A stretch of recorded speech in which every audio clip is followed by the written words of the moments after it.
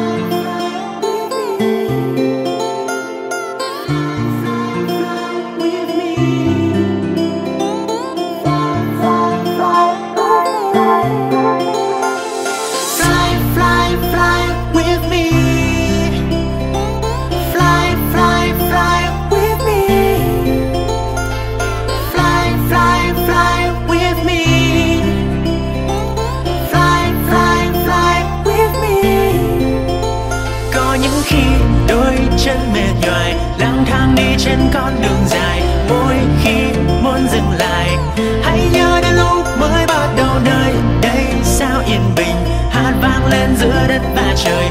Tim tôi như dâng trào. Hãy cứ tiếng hát theo điệu nhạc. Cùng nhau chạy theo những giai điệu. Cùng nhau chạy theo những tháng ngày cùng nhau chạy theo những tiếng gọi. Đừng để niềm vui trái tim mất cùng nhau chạy theo những giai điệu. Cùng nhau chạy theo những tháng ngày cùng nhau chạy theo những tiếng gọi. Buồn phiền làm chi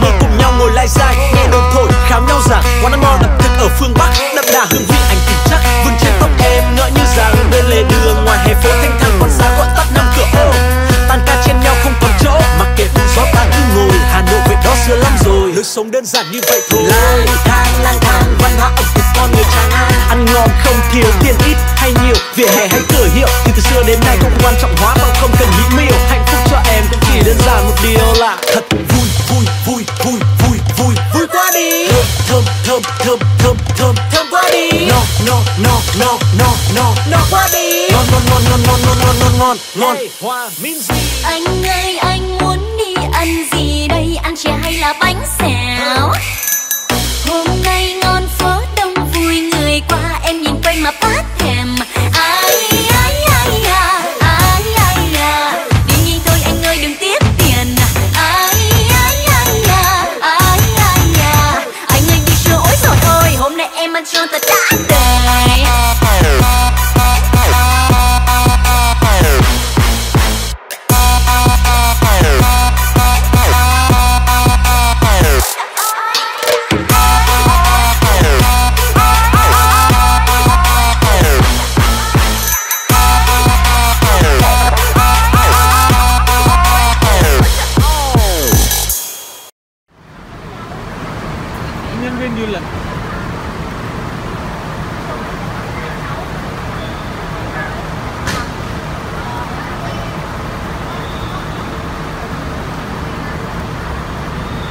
Có ai đặt tên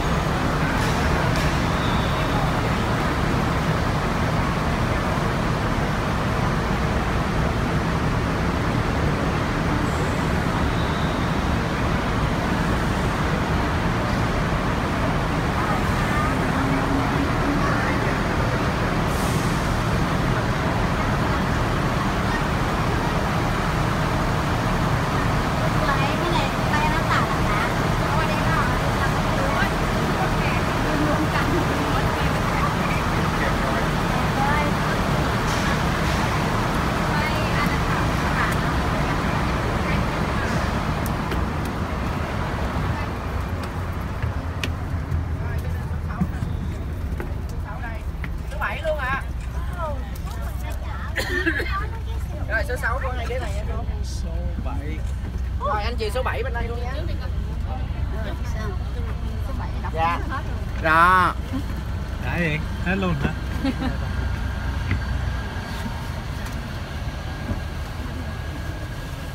đây xin giới thiệu đây là gia đình số 7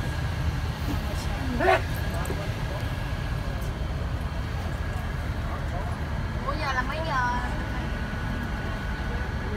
Mình đi nó mình đi thuê quý vị đã từng đã từng đi với ai ha nhưng mà ngày hôm nay dạ ngày hôm nay riêng đi với trường, đi Thái Lan với trường. Trường có một cái lời đề nghị như thế này. Mà nếu như mà cái lời đề nghị này kết thúc, quý vị mình đồng ý cho trường một tràng pháo tay thật lớn. Được không ạ? Được không? Ok, trường đề nghị như thế này. Kể từ giây phút này trở đi, tổng số lượng người trên xe của chúng ta là 24 người. Thì kể từ giây phút này trở đi tất cả những chuyện ăn ngủ nghỉ vui chơi của 24 thành viên trên xe này giao hết cho một tay trường lo. Quý vị mình chỉ ngồi đó và hưởng thụ mà thôi. Có đồng ý không ạ? Đồng ý thì sao? Sao nhỏ như vậy gì có nhiều người chưa đồng ý? Có không có mấy người không vỗ tay là không đồng ý. Ha dạ à, nói một chút xíu cho vui thôi. Quý vị mình bỏ tiền ra chúng ta đi du lịch là cần cái sự thoải mái cần cái sự hưởng thụ đúng không ạ? Và ngày hôm nay à, không dám chắc là quý vị chúng ta mình đi những nước khác với trường thì không dám như thế nào nhưng mà riêng đi thái với trường thì quý vị mình cứ thoải mái cứ tự nhiên cứ vui vẻ và ngồi đó để hưởng dịch vụ mà thôi. Trường sẽ cung cấp cho tất cả quý vị. Đồng nghĩa với việc trong 5 ngày chúng ta lưu trú tại thái lan này nếu mà gặp bất kỳ một cái trường hợp đó thì những cái chiếc xe phục vụ du lịch này đó quý vị bên cạnh là cái công cụ mà để làm ăn kiếm sống của bác tài ra đó thì à, bên cạnh đó cái chiếc xe này được xem như là một cái ngôi nhà di động của bác tài. À, có nghĩa là bác tài sau khi mà đưa quý vị chúng ta về khách sạn rồi thì bác tài sẽ ăn ngủ nghỉ trên chiếc xe này luôn. Ở dưới khoang hành lý ở dưới đó nó có cái phòng ở dưới đó và là phòng ngủ của bác tài đó. Và thường thường ở Việt Nam chúng ta là những bác tài thường thường khi mà chạy xe đường dài hoặc là chạy xe lớn nó sẽ thuê thêm một cái anh phụ xế. Còn bên đây không có thuê. Chứ nếu như mà bác tài đã lấy vợ thì vợ bác tài sẽ đi theo bác tài để làm việc chung luôn và trở thành phụ xế luôn. Còn bác tài này không có vợ rồi. Đó thì hai vợ chồng và cái coi chiếc xe này như là một cái ngôi nhà di động của họ vậy. À, quý vị nhá thì bên cạnh cái công cụ làm ăn là cái ngày là cái ngôi nhà di động. Tối là họ sẽ ăn ngủ ở dưới cái khoang hành lý ở dưới đó vậy. Và tắm rửa thì họ sẽ vào trong toilet họ tắm à, toilet khách sạn họ tắm. Xong rồi họ ra đây họ ngủ quý vị nhá. Thì quý vị mình nói như thì mình cũng ờ, đơn giản thôi. Mình khách mình về nhà đó mình đều muốn nhà chúng ta sạch sẽ đúng không ạ? Thì qua bên đây hỗ trợ giùm em chúng ta giữ gìn vệ sinh ở trên xe giùm trường. À, chúng ta thấy mỗi cái băng ghế đó bác tài đều có treo sẵn một cái bịch xốp ni lông rồi đúng không ạ? Thì cái bọc xốp này là để chúng ta bỏ rác. Bỏ rác quý vị nhé ai có nhu cầu vứt rác chúng ta vứt vô trong cái bịch xốp này. Sau đó thì chúng ta mình kết thúc một ngày bác tài sẽ thu hết cái bịch rác này đi dùng và sẽ thay cái bịch mới à, quý vị nhé thì nhớ giùm em. Thứ nhất cái thứ hai nữa là bên Thái Lan này quý vị chúng ta mình đã được biết trường sẽ chia sẻ sau những cái vấn đề này cho quý vị. Bên Thái Lan này đối quý vị hơn 95% dân số là theo Phật giáo. Quý vị ta đã biết rồi. Và Phật giáo được đóng vai trò quan trọng ở bên Thái Lan này. Nên chính vì thế mà chúng ta đi đâu cũng vậy sẽ thấy những cái hình ảnh Phật nhá những cái hình ảnh của Đức Phật rất là nhiều.